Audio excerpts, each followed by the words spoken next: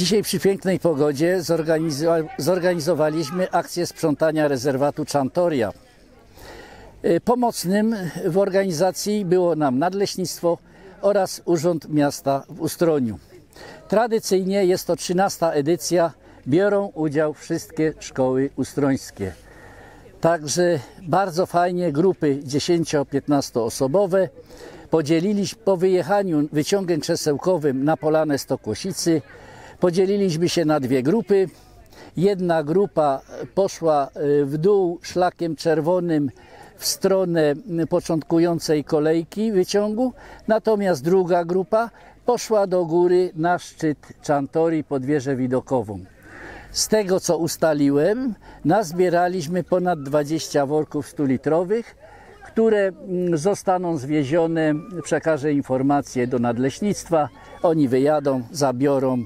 No cóż, jednak sytuacja w zeszłym roku wydaje mi się była ciut lepsza. Nie było chyba tyle tych śmieci, ale po tej majówce to chyba jest, że jednak 20 worów się nazbierało na tym małym odcinku. Yy, Dziękujemy Urzędowi Miasta za to, że yy, dostarczył nam kiełbaski. Mogliśmy sobie tutaj dzisiaj upiec na ognisku. Fajnie, chlebek, musztarda, ketchup. Yy, Dziękujemy Nadleśnictwu, które przekazało worki na śmieci oraz rękawice.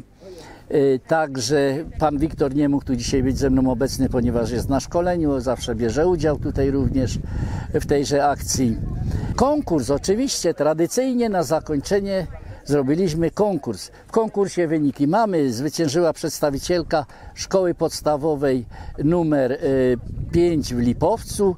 Na drugim miejscu y, przedstawiciel szkoły podstawowej numer 6 w Ustroniu Nierodzimu, no i kolejne miejsca ze szkoły podstawowej numer 1 i szkoły podstawowej numer 3. Także fajnie, wesoło. Y, Poza tym, że wyjechaliśmy sobie darmowo wyciągiem krzesełkowym, jest to jakaś atrakcja, zjedziemy sobie za chwileczkę nim. Mamy jeszcze dwa przejazdy torem saneczkowym. Każdy może sobie przejechać, bo na pewno są tacy, którzy jeszcze nie korzystali z tej przyjemności. Także miło nam, bo przede wszystkim 99% sukcesu to pogoda.